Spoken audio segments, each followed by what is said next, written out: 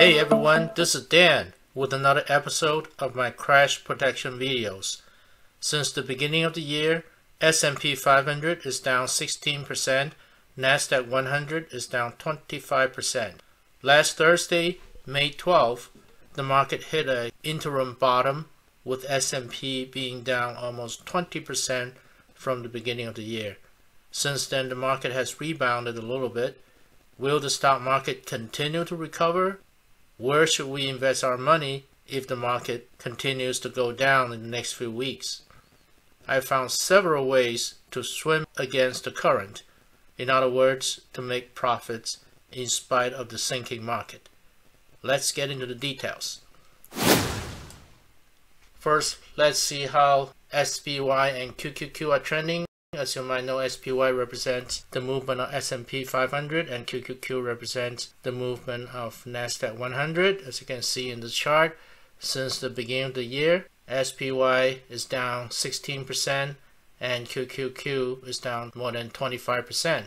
Definitely, this is a very bearish picture.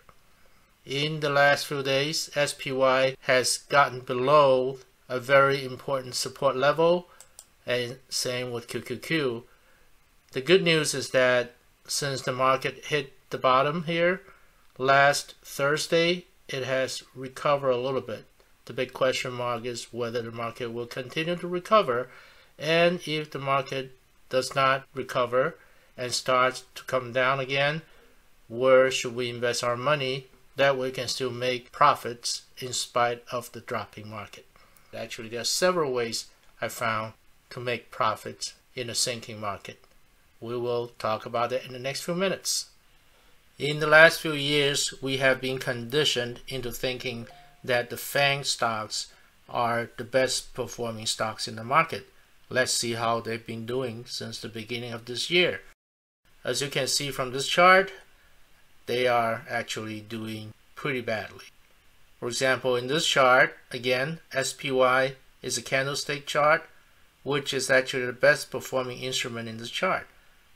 And below that is Apple, that also went down by about 16%. Alphabet or Google went down by about 20%. Same with Microsoft. QQQ down 25%. Amazon down almost 35%, Facebook down 40%, and Netflix has been down a whooping 68%. Definitely, our conventional thinking does not work anymore, and if you still have a lot of your money in the FANG stock, you are not a happy person at this point. I still actually own some Google shares, but I sold most of my FANG stock shares as well as some of the semiconductor shares so that I could free up money to purchase other assets that actually helped me make a profit in the last few months. And I'll talk about that in the next few minutes, which is related to this chart. If you look at this chart, it's the almost flipped mirror image of the other one. The previous chart had the lines all below the SPY line, and this chart pretty much has the lines above the SPY line. As you can see, SPY is here on the bottom, losing 16% since the beginning of the year, and a little bit below that, QQQ losing 25%. And then we have this line, which represents the ETF UNG. That's a natural gas ETF, up 109% since the beginning of the year. Isn't that wonderful? If you have bought UNG in the beginning of January, then you will have double your investment by now. And then next to that, UCO, an oil ETF, up 101%. TMV, an ETF related to the 20-year Treasury rate, up 71%. Now, these two are not spectacular at this point, but they have the potential of going up quickly, and I'll explain that later. COPX, the copper miner ETF, it's actually down a little bit by about 2%. Same with CPER copper ETF down 2% so far since the beginning of the year, but they will be shooting up quickly based on my estimate. I'll explain that in the next few minutes. If you like what you've seen so far, I'd like to encourage you to click the like, subscribe, and notification button. That'll enable you to receive notification when I post my next video and it will encourage me to make more videos like this in the future. Thank you very much. Let's continue. We have a lot of interesting things to cover. Let's talk about a few major events that happened in the last few days. On May 4th, the Federal Reserve Banks raised interest rate by half a percentage point, and that's the biggest rate hike in two decades. The Fed is doing that because they want to fight inflation. In addition, they want to reduce the total asset by up to $95 billion a month starting a few months from now, and I'll talk more about that later. What the Fed is doing is basically tightening the money supply, and that will definitely have an adverse impact to the stock market. Basically, the Fed wants to cool down the economy, they want to cool down the stock market. If you look at the CPI inflation rate it's been shooting up quickly since January of 2021 and as of March the CPI was at 8.5%. April, it's actually a little bit lower, but still pretty high at 8.3%. And then we'll learn about the May CPI on June 10th. Hopefully the May CPI is not as high as 8.3 or 8.5. If May CPI is much higher than 8.3 or 8.5, then the Fed will probably even tighten more. That'll bring more pain to the stock market. Why are the Fed actions so important? This chart tells it all.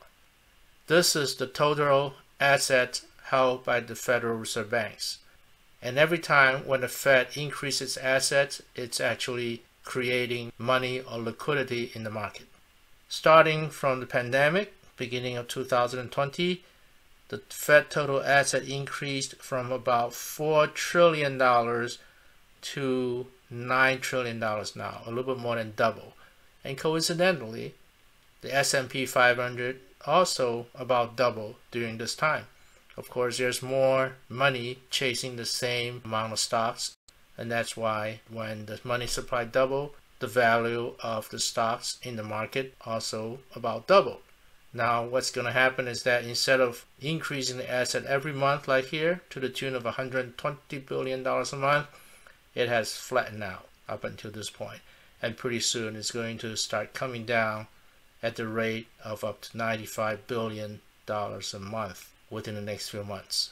And that's going to have a profound impact to the stock market in the meanwhile because of the omicron covid variant shanghai has been locked down the last few weeks as well as a few other major cities in china and that has slowed down the supply chain, and caused the prices of many manufacturing products to increase. The good news is that the deputy mayor of Shanghai has been saying that they will gradually start to relax the lockdown procedures in Shanghai and they hope to be able to open everything between June 1 to mid and late June. Let's hope that happens to Shanghai and the other major cities in China that have been in lockdown mode. There's an article that came out today. It says the Fed has a new plan to avoid recession. In other words, the chairman of the Federal Reserve Bank, Mr. Jerome Powell, wants to aim for a quote soft landing unquote. And he referred to the soft landing in 1994 when Alan Greenspan was a Fed chair. Apparently, at that time, the Fed was able to control inflation by cooling down the market and without bringing a market crash. Jerome Powell is very hopeful that he could do the same thing. Let's hope for the best. But if we end up with a much harsher landing than a soft landing, I believe I have the strategy to avoid losing a lot of money in my portfolio. I'll be talking about that in the next few minutes. How do we swim against the current? In other words, how do we make profits in spite of the fact that the stock market might be sinking? There's one instrument called a TMV, which is an ETF pegged to the 20 year treasury rate, and that has been going up nicely, as you have seen in the chart that I've shown. And also, the other two lines in the chart are UCO and USO, they are crude oil ETFs, but they are related to the Ukraine war.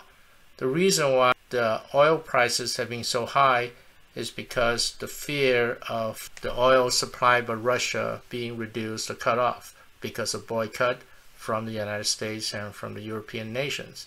Actually, at this point, the Russian oil daily production volume has not been substantially reduced yet, but the price increase in oil is primarily due to the fear of a future shortage. And actually, the EU has been talking about implementing a plan to progressively decrease the reliance on Russian oil during the course of the next six months to a year. When that starts getting implemented, I believe the oil prices, as well as the prices for ETFs such as UCO and USO, will continue to go up. And that's why I've been buying UCO myself. UNG, similar to the situation with oil, Russia provided a lot of natural gas to Western Europe, and that's why the price for natural gas has been going up as well. And because of it, the UNG ETF has been going up. Wheat, because Ukraine is a major wheat producing nation, they supply wheat to the Western European nations, and that's why the wheat price has been going up. Now, again, as soon as there's a peaceful settlement in Ukraine, these instruments will go down quickly, and that's why we need to be agile when we invest in these ETFs.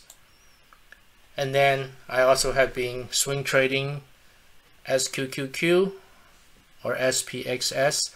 They are the three times inverse ETFs pegged to the Nasdaq 100 or S&P 500. And then in anticipation of the reopening of Shanghai and other major cities in China, I believe CPER and COPX, the ETFs related to copper, will be going up. And just today, I bought some COPX shares. When would the market recover? There are several things that could lead to a significant recovery of the market. First of all, if we see positive Q1 earnings and bullish Q2 projections, actually pretty much all the major earnings have been announced and the projections have been very cautious. And that's why this first bullet point actually hasn't done much for the market. Now we can hope for the second bullet point, which will be the end of the Russian-Ukraine war. And of course, if the Ukraine war comes to an end, that'll help restore stability in the stock market to some extent. But in the meanwhile, it'll bring down the prices of ETFs that we just talked about, the oil related ETFs, natural gas related ETFs, and wheat and grain related ETFs. So we've got to be careful in that regard. And if the COVID lockdown is ended in China, which hopefully will happen by the end of June, and if inflation can drop to 3 to 4% range, causing the Fed to stop raising interest rate, and of course, when the Fed stops reducing its assets, that'll help stabilize the market. Now, the last bullet point is an unhappy way to bring about a recovery of the stock market. That is when the unemployment rate gets to be so high, for example, higher than 6%, which will cause the Fed to ease its monetary policies, including increasing Fed assets and also reducing interest rate but that will come about because of pain that already happened in the economy. Let's hope we don't see that happening anytime soon. Let's hope the bullet points above this line come to fruition and help restore the stability in the stock market. What are my strategies?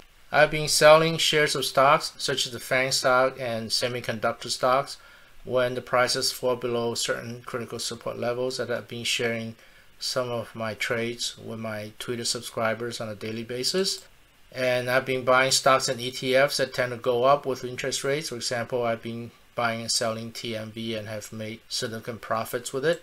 And I've been buying stocks and ETFs that tend to go up with energy and wheat prices, including UCO, UNG, XLE, which is the energy related ETF, COP, ConocoPhillips, Wheat, I have not bought wheat yet, but I will soon be buying that when RSI value gets to a reasonable range.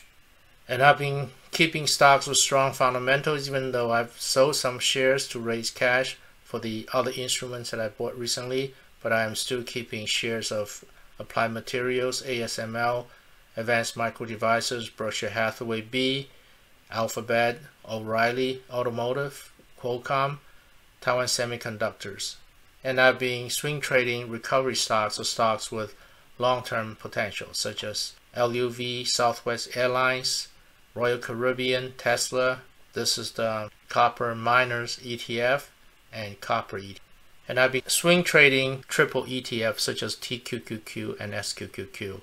At this point, I'd like to suggest for you to also subscribe to my Twitter account. I've been sharing some of my trades and also major news developments with my Twitter subscribers almost on a daily basis. For example, on April 29th, I tweeted that I sold SQQQ shares I bought the day prior and realized an 8.3% gain. That's pretty amazing. 8.3% gain just in one day. And then on May 12th, I tweeted that I sold half of my UNG shares at about 8% gain. And that's one of the ETFs that I showed on the chart earlier that actually went up when the market went down. That's the natural gas ETF.